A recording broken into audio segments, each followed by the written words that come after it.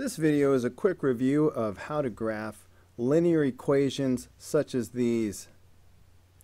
Now remember, when you have an equation in the form y equals mx plus b, in the past we have learned that this m represents the slope and this b represents the y-intercept.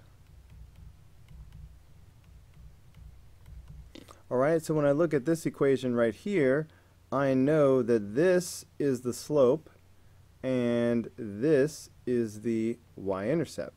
So I'm going to use that information to help me graph the line. So um, I'm going to start with the y-intercept, negative 1. That means the line crosses the y-axis right here at negative 1. Now the slope.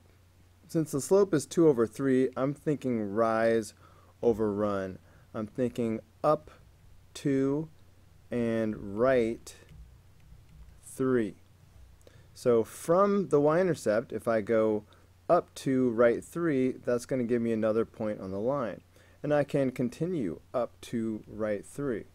I could repeat this pattern to the left as well by going down to left 3, down to left 3, down to left 3, down to left 3. So now I have more than enough points to graph this line. So we will go ahead and interpolate, meaning imagine the points between the ones that we have. Let's put arrows on the end, and that's how you graph a linear equation, um, especially one that's already in slope-intercept form, y equals mx plus b.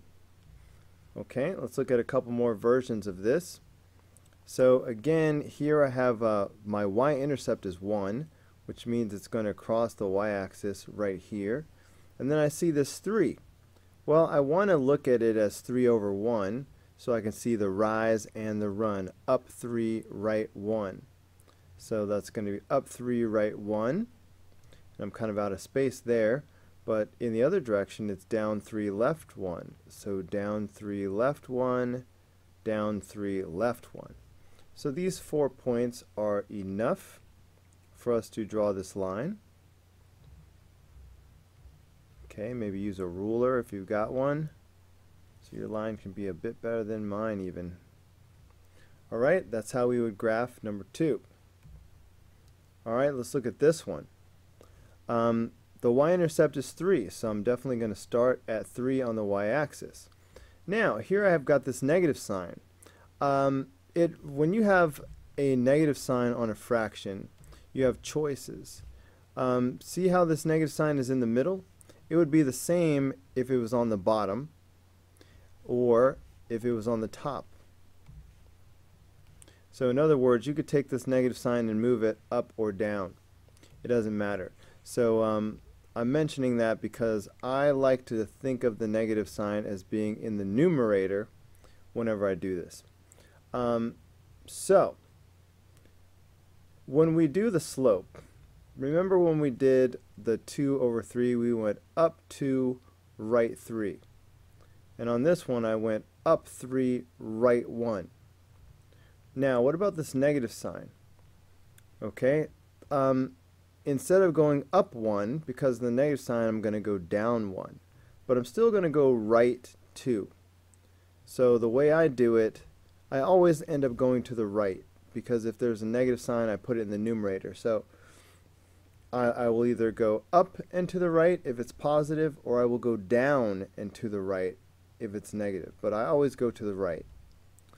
Um, so here I go. So this is down 1 right 2 down 1 right 2 down 1 right 2 and to the left it's going up 1 left 2. So up 1, left 2, up 1, left 2, up 1, left 2.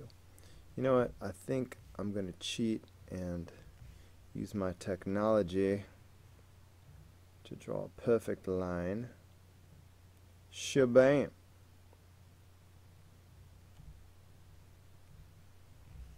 Alright, there you go for number three. Um, okay, number four. The y-intercept here is this negative 2. So I'm going to start at negative 2 on the y-axis. Now I've got my negative 3 for the slope. You can look at that as negative 3 over 1. So that's down 3, right 1. Always go to the right. So down 3, right 1. I'm out of space, so now I'm going to go to the left by going up 3, left 1, up 3, left 1, up 3, left 1. And I'm out of space again.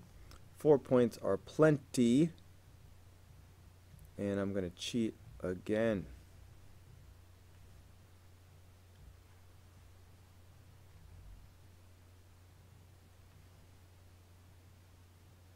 Whoa, moved the wrong thing.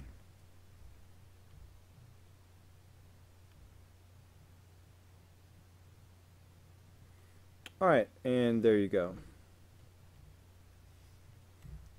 Alright, so that's how you would graph number 4. Hmm, number 5 looks awful short. The thing that's missing is the y-intercept number. Well, it can only be missing if it is actually a 0. So that does in fact mean that the y-intercept is 0. So that's why I'm going to start at the origin. And again, I've got this negative sign, and again, I'm going to take it and I'm going to put it on the numerator. Alright, because it's the same thing. So I'm going to take this negative sign and put it on the 3. So I'm going to go down 3, right 2. Notice how I always go to the right. So I'm going to go down 3, right 2. And I have space to do that again. So down 3, right 2. I can continue the pattern to the left by going up 3, left 2, up 3, left 2, up 3, left 2.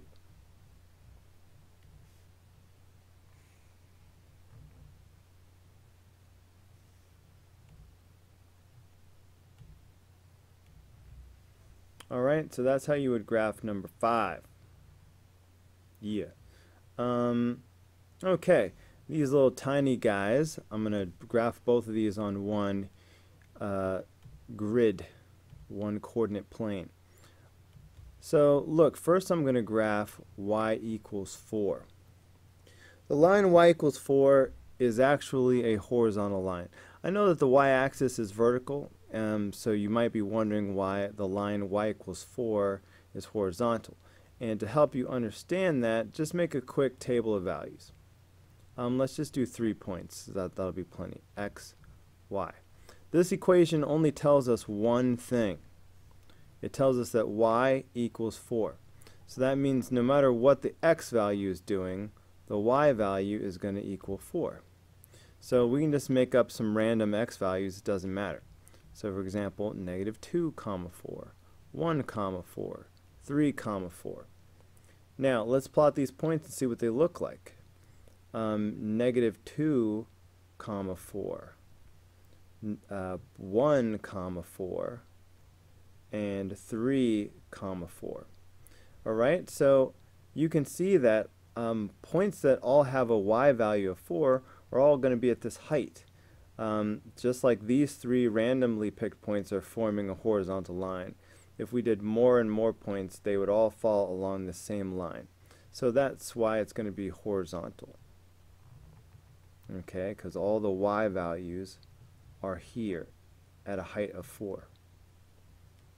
Um, similarly, x equals 2 is going to be a vertical line because this is a line where all of the x values are negative 2. Alright, and again, imagine that we had all of our x values are negative 2. So we could do negative 2, uh, comma 3, negative 2, comma 1, negative 2, comma negative 5. I just made up random values. Um, negative 2, comma 3, for example, would be here. Negative 2, comma 1 would be here. And negative 2, comma negative 5 would be here notice how they're all lining up right here.